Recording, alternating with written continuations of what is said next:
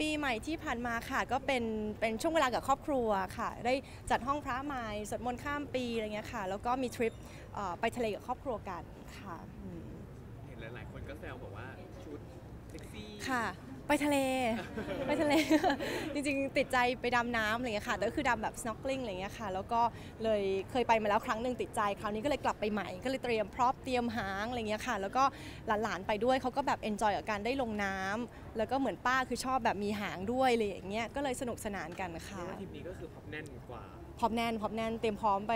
อย่างดีอะไรเงี้ยค่ะ แล้วก็จริงๆแบบเน้นสนุกสนานมากกว่าพอไปกันทั้งครอบครัวคุณพ่อลงน้ำคุณแม่ลงน้ำอะไรเงี้ยค่ะ ก็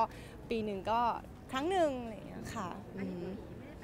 พี่หมิวไม่ได้ไปค่ะติดงานค่ะ ก็ตามไปวันสุดท้ายก็คือได้ไปทานข้าวกันอะไรเงี้ยค่ะ แล้วก็กลับมาทำงานต่อแหละค่ะอืจะต้องมมีทริปแบบชดเชยไหมฮะแบบว่าไปพักผ่อนกันเต็มๆแบบนี้ต้องไปซ้ำต้องไปซ้ำใช่ค่ะ ก็เดี๋ยวรออาจจะให้เลยช่วงยุ่งๆช่วงต้นปีไปก่อนอะไรเงี้ยค่ะ แล้วก็เดี๋ยวคงแพลนทริปกันว่าจะไปไหนกันดีปีนี้ค่ะอืมใหม่เอ้ยปีใหม่ก็เลยมาพร้อมกับผลงานใหม่ๆอย่างหนังอย่างหนังใช่ค่ะ ก็เปิดต้นปีนี่เป็นเอ่อ กิจกรรมแรกก็คือแฟนโชว์แล้ว แล้วก็เดี๋ยวจะมีเป็นซีรีส์ค่ะ แล้วก็มีหนังของพี่พจน์อานนท์ด้วย ก็ในช่วงต้นปีเนี่ยค่ะ เดี๋ยวได้ชมกันแน่นอนค่ะนก็จะแปลกใจว่าเอ๊ะน้องแพนไปไปเล่นกับพี่พจน์ยังไงใช่ไหมคะ แพนก็ยังนึกภาพไม่ออกเหมือนกันแต่เราเริ่มถ่ายไปแล้วนะคะ ก็เป็นแบบใครที่เรียกว่าชอบแนวของพี่พจน์อะก็จะให้ลองจินตนาการดูแล้วกันค่ะ แต่เดี๋ยวชมพร้อมกันในโรงภาพยนตร์ ก็เป็นอะไรที่ใหม่มากท้าทายมาก แล้วก็ แตกต่างจากที่เคยทำโดยสิ้นเชิงทุกอย่างอะไรเงี้ยค่ะ ก็สนุกดีค่ะ มันเปลี่ยนมาเล่นเมื่อเองไปเยอะเลยนะคะอะไรนะคะ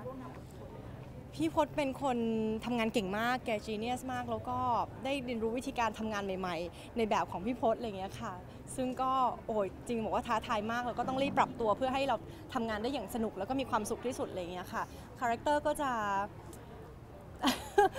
เอาเป็นว่าไม่ไม่เหมือนที่คิดไว้แล้วก็ยังไม่เคยเห็นละกันค่ะ อ ก็เยอะอยู่ค่ะ ก็เยอะอยู่เหมือนกัน แล้วก็แผนได้ร่วมงานกับแน็กชาลีด้วย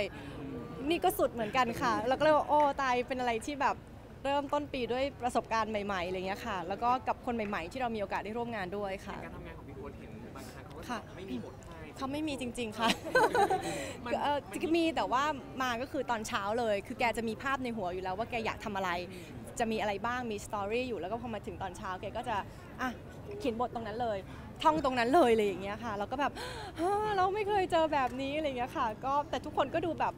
สนุกสนานปรับตัวกันได้เนาะแต่เราก็ต้องแบบเออรีบที่จะเรียนรู้อะไรอย่างเงี้ยค่ะ แล้วก็เรื่องของแต่พี่ๆที่ร่วมงานด้วยก็เป็นแบบระดับเทพอะ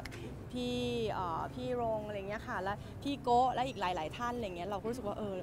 ก็เป็นเป็นโอกาสดีๆค่ะไม่ไม่ได้ยากตัดสินใจที่จะร่วมงานเห็นจุดไหนที่แบบอยากจะเฮ้ยทำให้เราอยากจะร่วมงานกับพี่พจน์เพราะว่าชื่อเราเนี่ยอยู่ในหนังของเขามาหลายเรื่องมากค่ะ